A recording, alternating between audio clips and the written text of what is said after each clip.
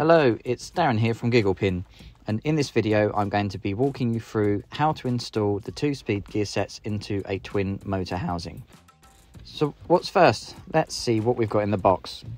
You should find in your box one central gear cluster, two pinion gear clusters, one bearing adapter assembly, one drill jig that is of two parts. The main locator fits the 10mm drill bit then there is a smaller insert for the 4mm drill bit. One air piston. One nut. One M10 Dowty washer. One ball bearing. One actuation shaft. One 10mm drill bit and one 4mm drill bit. Additional tools that you may need. You'll need a drill, a half inch socket and ratchet, 15mm spanner, circlip pliers, a mallet, thread lock, grease, protective gloves, cleaning wipes, and maybe a blowtorch. To ensure years of trouble-free service, this kit must be fitted by a competent mechanic or engineer. If you are in any doubt, please contact us and we will recommend a suitable person to do this for you.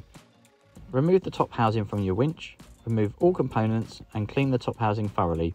You should start with an empty top housing as pictured here. You need to remove the original ball bearings from your top housing.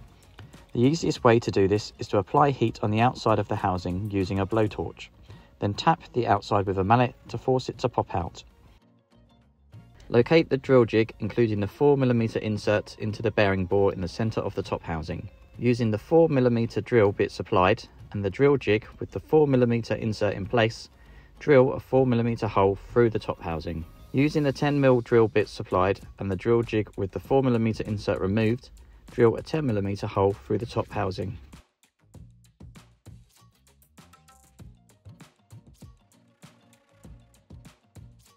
Clean off any burrs from drilling and clean out any remaining debris. You may want to do this with some air.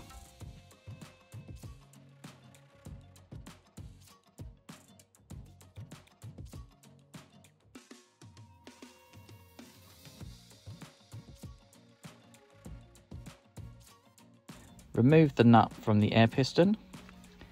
Add a small globule of thread lock onto the thread on the air piston making sure that the Dowty washer remains in place. Insert the air piston thread first into the 10mm hole you have just made from the outside of the top housing. Find the nut supplied in the kit. This is what you need to screw onto the air piston on the inside of the top housing. Tighten by hand the nut onto the air piston to avoid cross-threading. Using a half inch socket on the nut and the 15mm spanner on the air piston, tighten the nut to make a secure fix.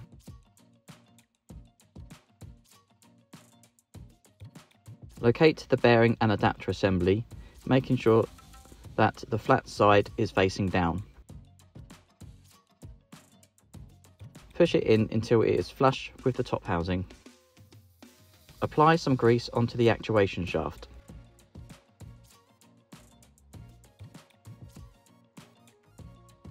Look into the top of the central gear cluster and you will see a rod that the actuation shaft needs to line up with. Push the actuation shaft so it fits flush with the entry hole. Apply some grease into the hole of the actuation shaft.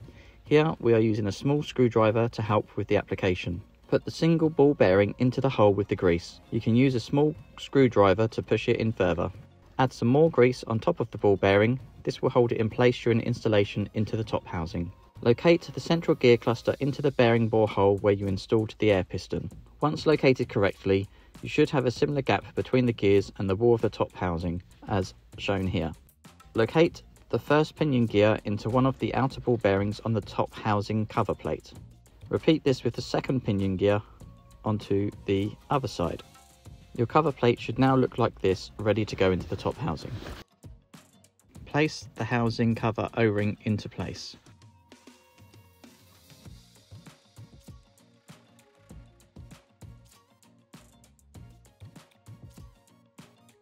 and then gently align the gears on the cover plate with the central gear cluster.